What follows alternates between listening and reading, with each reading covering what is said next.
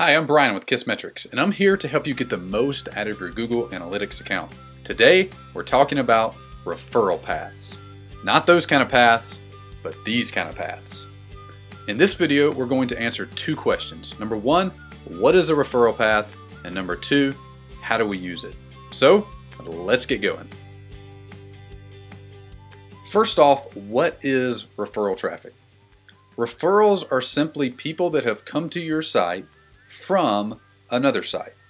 For example, if you were to type a Google search for brain visualization and you were to click on the link for Kissmetrics, you'd be taken to their blog. And on that blog is a video that I created for them. And at the bottom of that video is a link to my company's website. If you were to go to the blog and then click that link and go to my company's website, that would be a referral. It's Kissmetrics referring people to Brian Harris and to Video Fruit. If you were then to log into the Google Analytics backend of my website, you would see blog.kissmetrics.com, the Kissmetrics blog, referring to this specific page. So that's all a referral is. It's simply telling you that people have visited your site and showing you where they originated from. So that's cool and all, but how does this help you grow your business? If you're trying to build traffic to your business at all, you want to know which sources are successful and which ones aren't. So if you're sinking a lot of time and effort and energy into creating a series of YouTube videos, you want to be able to track and see if those videos are sending leads and traffic back to your actual website. Your referral path reports will send you expected sources, but it will also send you unexpected sources. So if there was a news story that was written, or there was a product review given that you didn't know about, or perhaps there was a popular blogger picked up your site and started writing about it, your referral path reports will tell you that. If you want to investigate a traffic source, you can click a source domain to see the specific pages in that domain that are driving traffic. In our earlier example, you can see the Kissmetrics refer traffic to my blog, but if we click the domain, we can see the exact page inside of Kissmetrics' site that did the referring. Let's look at two other specific examples of how we can use this data to help increase the amount of traffic we get to our site. First, let's look at Twitter. Have you ever stopped to analyze what tweets you send out that get the most traffic to come back to your website? Or have you ever analyzed what other people out there are actually tweeting links to your site and driving traffic that you don't even know about? The answer to this is in the Referral Paths report. To find it, start by choosing the Home button in the upper left hand corner of your Google Analytics account. Then choose the profile that you want to analyze. Now choose Acquisition and then all referrals. Everything with a t.co URL is a referral from Twitter. You can click that URL to get a drill down even further. Twitter unfortunately doesn't play super nice with Google Analytics, so you'll need to install a free browser plugin called Campalyst. After setting this up, you'll be able to see the exact person and tweet that sent traffic your way.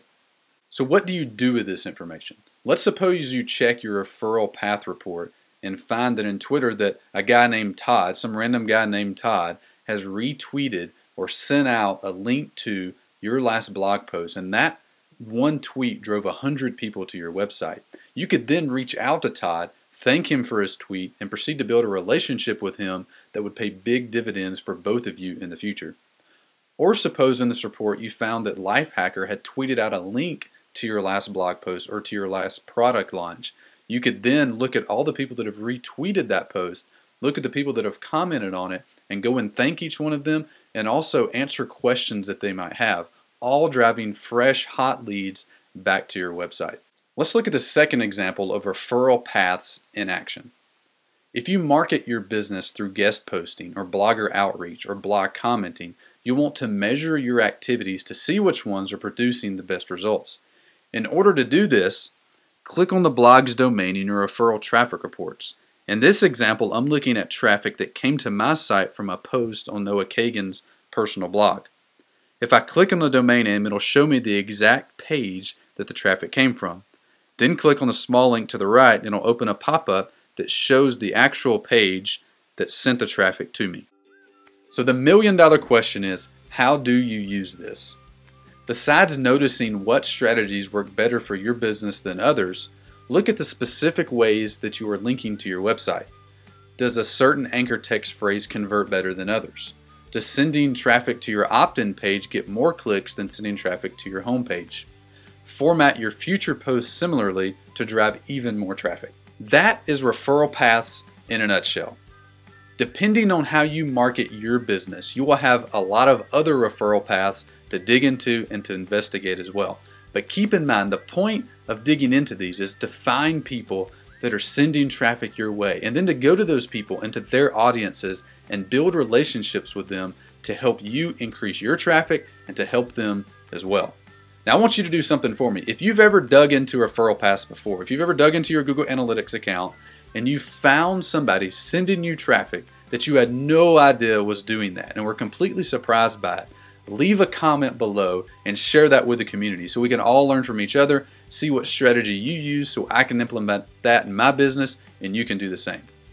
That's it for this week. Until next time, happy analyticing.